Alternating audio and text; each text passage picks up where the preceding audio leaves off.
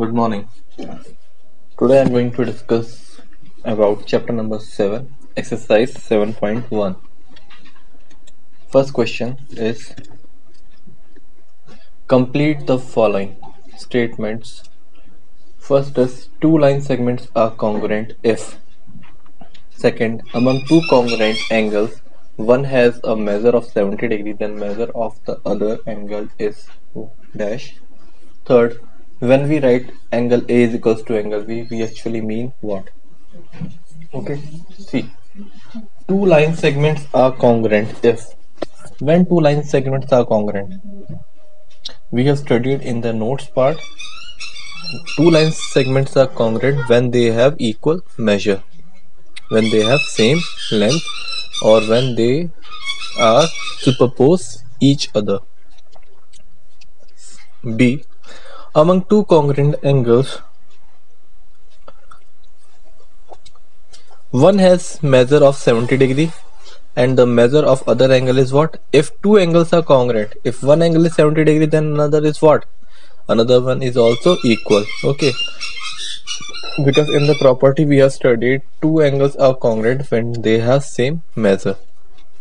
So one angle is 70 degree then another one is also of 70 degree.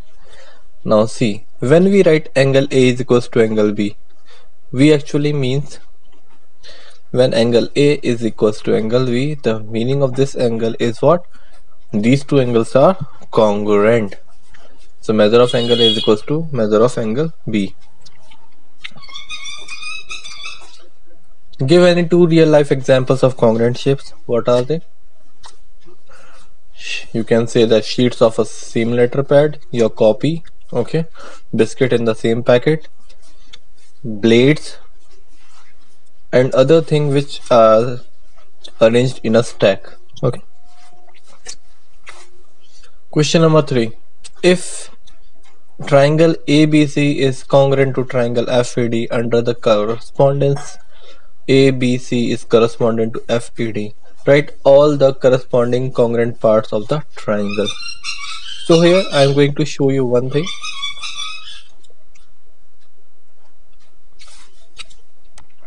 It is saying that triangle ABC is correspondent uh, sorry congruent to FED okay? So we need to write their parts. So what are their parts? Vertex sides and angles. So see. A vertex A is correspondent to vertex F. then vertex B is correspondent to vertex E and vertex C is correspondent to vertex D. How we can say this? They both are in the first place which to A and F then in the middle we have B and here also we have E. So B E are correspondent and here C and D. Same thing with angles. Angle A is correspondent to angle F angle B is correspondent to angle E and angle C is correspondent to angle D. Now if we talk about the sides in sides we have AB is correspondent to FE AB is correspondent to FE. Now take BC. Next to BC is correspondent to ED. And the last A and C. AC. So AC is correspondent to FD. Okay. Right. If these triangles are congruent, then the corresponding angles and sides will be equal to each other. See angle A is correspondent to angle F. This is the sign of correspondence. This one. Okay. Angle A is correspondent to angle F. Angle B is correspondent to angle E. Angle C is correspondent to angle D. Then AB side is correspondent to FE BC equals to ED CA equals to DF. Now next question number 4. If triangle DEF is congruent to BCA, write the parts of triangle BCA that correspondent to. Okay. If triangle DEF is correspondent to BCA, here we need to write the corresponding part of triangle BCA that correspondent to what? Okay. See. Triangle DEF is congruent to triangle BCA. So let's draw the two triangles. Now we are ready for our question. First part. Which part of triangle BCA corresponds to angle E? Now DEF, BCA. So you can clearly see C corresponds to E. So answer is angle C. Second part. The side EF corresponds to which side of triangle BCA? EF, CA. You see that? So answer is CA. Third part. Angle F, very clearly, angle A. And fourth part, the side DF, there. So obviously it is congruent to or it corresponds to the side BA.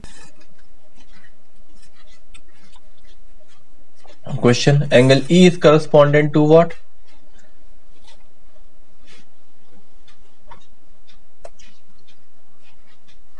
E is correspondent to C.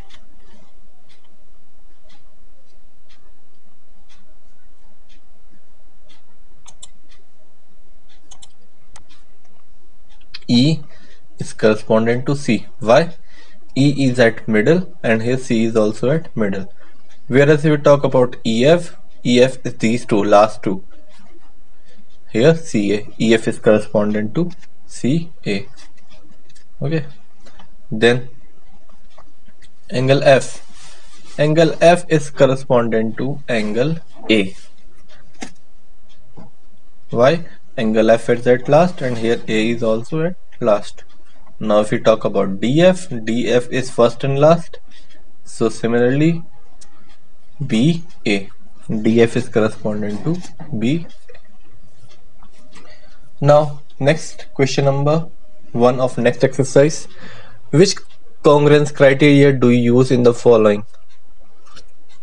Figure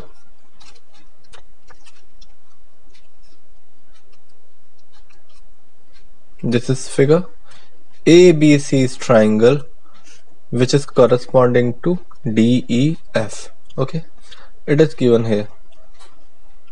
We need to write the criteria. First it is given here. It is given that AC which is AC AC is this line segment. Okay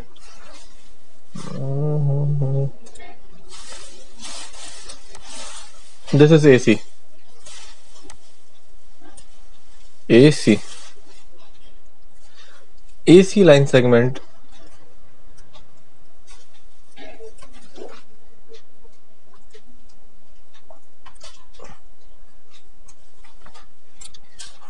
is equal to DF.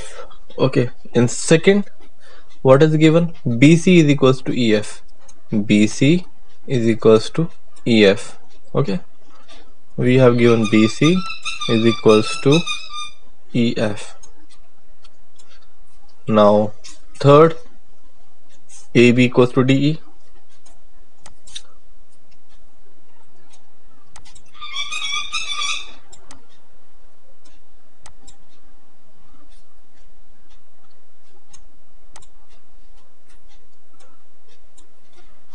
okay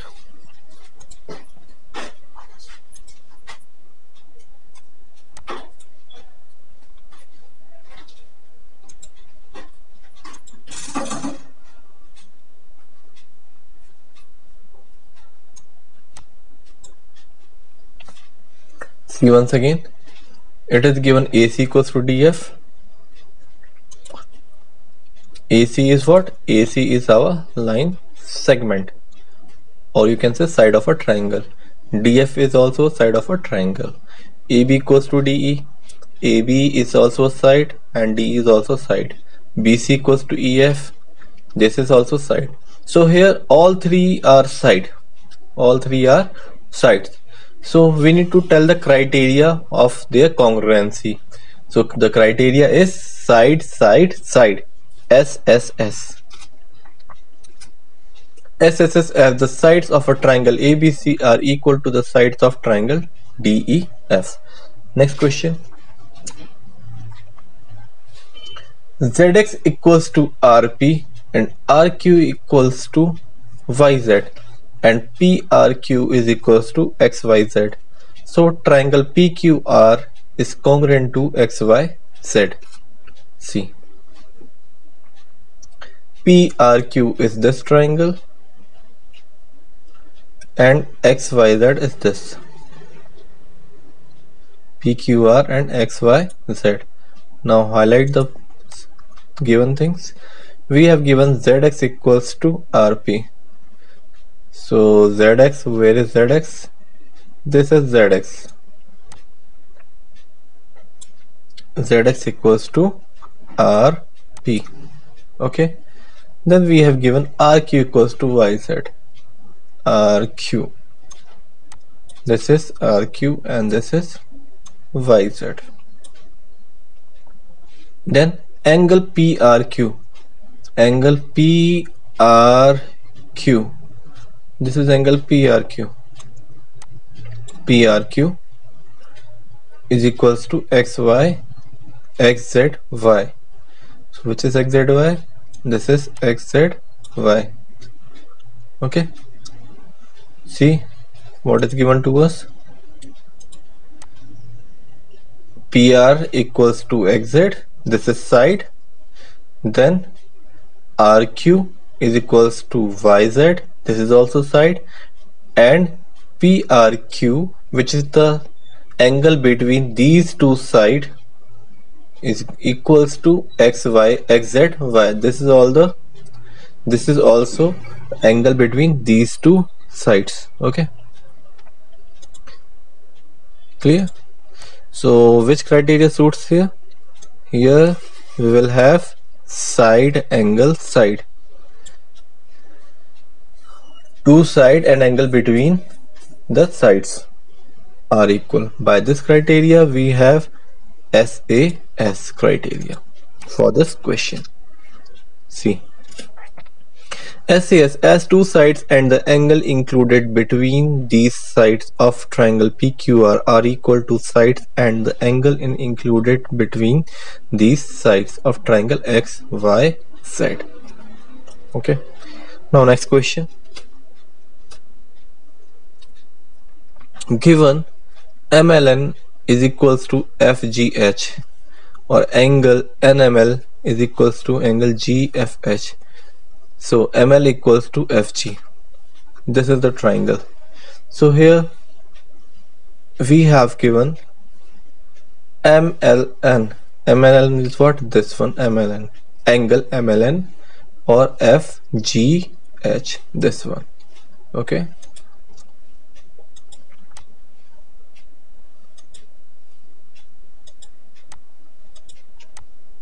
mln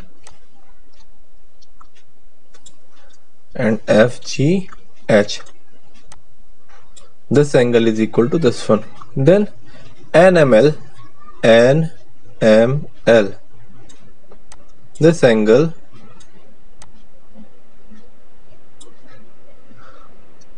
is equals to GFH GFH is equals to this one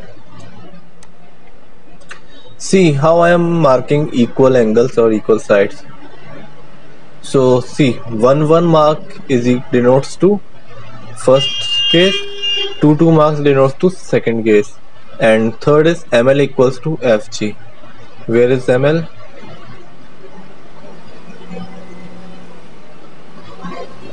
ml is equals to fg two angles aside two angles and side. So this criteria is for SA AASA okay angle side angle.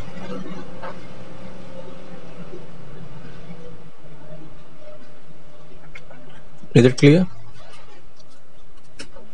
Now D. Given EB equals to DB and AE equals to BC angle A equals to angle C equals to 90 degrees. So triangle ABE is congruent to CDB so which criteria suits here we have here